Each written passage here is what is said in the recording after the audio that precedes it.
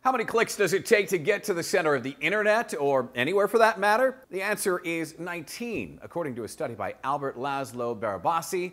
That's all it would take to go from Google's homepage to, say, Aunt Agnes's Facebook page. The Smithsonian reports there are about 14 billion individual pages on the internet, but the reason for the connectivity is human nature. We tend to group into communities, including region, country, and subject area, online as well as in person.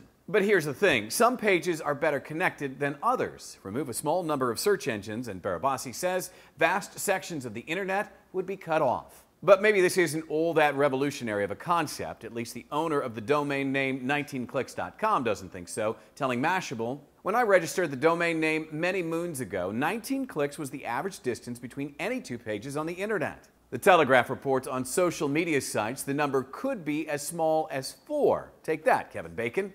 So how many clicks did it take for you to get here? Leave a comment and let us know. I'm Jim Flink for Newsy.